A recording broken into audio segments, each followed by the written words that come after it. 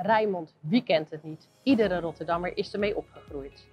En sinds de oprichting van MKB Rotterdam is Rijnmond al mediapartner. En dat is deze zomer exact 10 jaar geleden. Alleen dat is al de reden voor een bezoekje waard. Ik heb vandaag afgesproken met commercieel manager Richard Vergeer. En hij gaat mij vertellen wat Rijnmond deze bijzondere coronazomer allemaal gaat doen.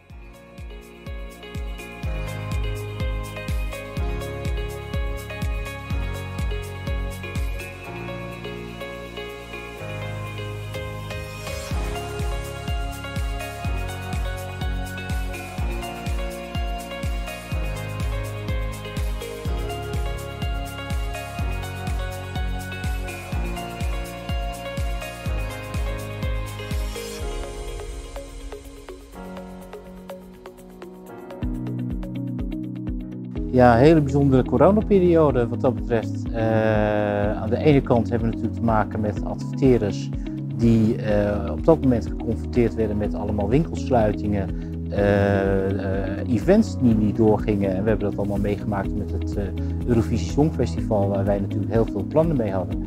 Maar aan de andere kant, als informatievoorziening is Rijnmond wat dat betreft heel erg gestegen. Uh, we doen het uh, in heel veel gevallen beter dan ooit. En wat dat betreft hebben we een ongelooflijk hoge luister- en kijkdichtheid. Ja, het wordt natuurlijk een hele bijzondere coronazomer. Uh, omdat we natuurlijk niet weten wat er allemaal mogelijk is en te gebeuren staat. wat wij wel gaan doen is dat we een soort zomertour gaan doen door de regio. In zes weken tijd gaan we met een reportagewagen en verslaggevers gaan wij verslag doen van wat er in de regio gebeurt in deze periode. Ja, als we straks weer echt een beetje naar buiten mogen, waar we natuurlijk allemaal naar uh, uitzien, dan uh, kunnen wij in ieder geval een helpende hand bieden bij al die ondernemers die weer actief de markt willen bedienen.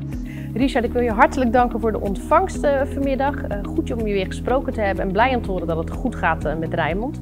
Ik heb nog iets voor je meegenomen, een leuke borrelbox van Van der Linden. Bij deze. Dankjewel en we gaan elkaar zeker weer eens een keer zien. Zeker weten.